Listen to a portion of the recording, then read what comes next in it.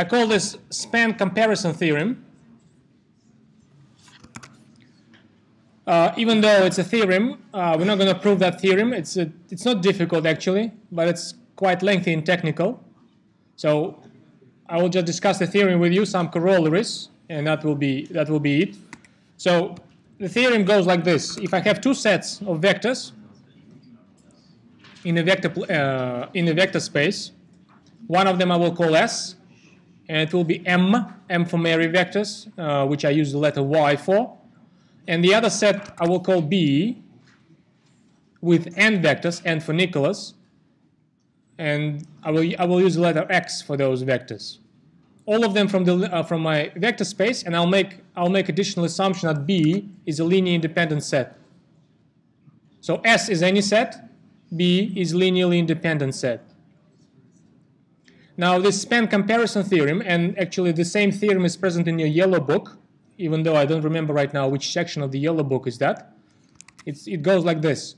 It says if the first set of vectors S is spanning, and that's how, you that's how I write this in symbols, if span of S is equal to the whole vector space, so if yeah, the S is spanning, you can read this by saying S is spanning, then the theorem itself concludes that the number of vectors in B will never exceed the number of vectors in S.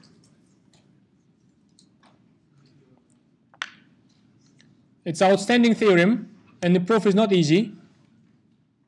And it relies heavily actually on Gaussian elimination and uh, Gaussian elimination method. The yellow book doesn't have the proof either. I, I, I think so. Or maybe it does.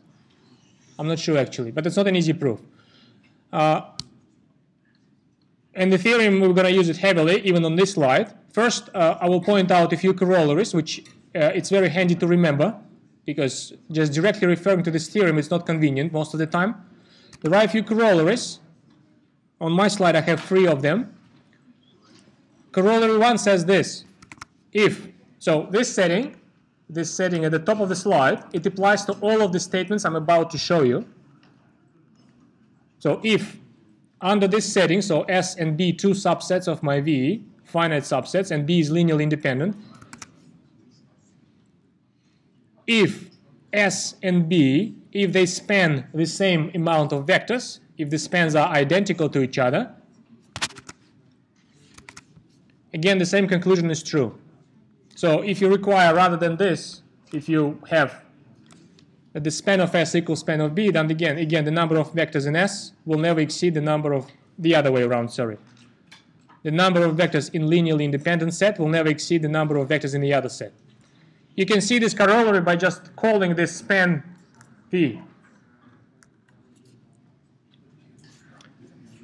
Second corollary, which is worth remembering when you when you deal with the with the I mean like a, a second corollary, which was worth remembering, especially for many questions in the yellow book, says this: if again S and B they span the same amount of vectors, if the spans are identical, and secondly, you know that S is also linearly independent.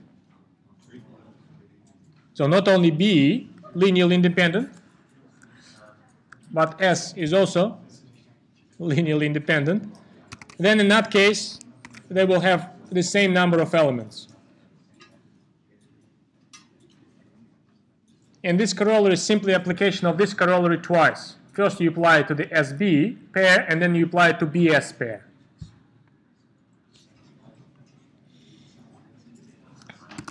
And the final one, the final one which I would like to mention, uh, the third one, it says this. If S and B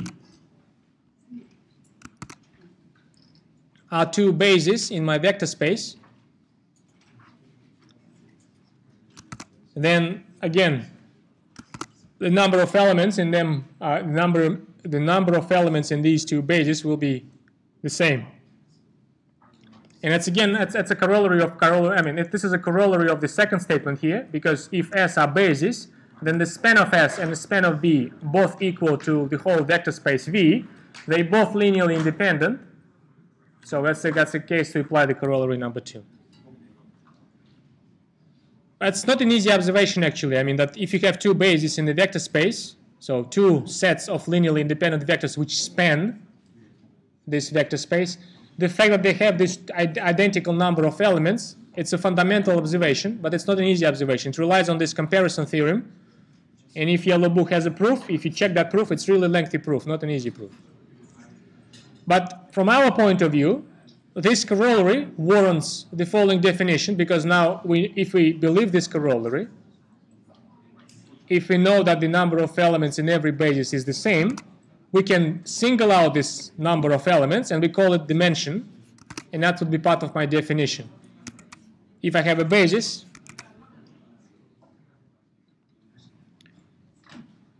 if I have a basis in the vector space, then the number of elements is called the dimension of that vector space. And we normally write this with the writing like this. dim of V is n. Again, if you think about that, if you think about that, it's not, it's not, it's not an obvious claim that whichever doesn't matter, whatever basis you pick, whichever basis you pick, the number of elements will be will, in the basis will be the same all the time only because of this fundamental observation, you, you can introduce the concept of dimension.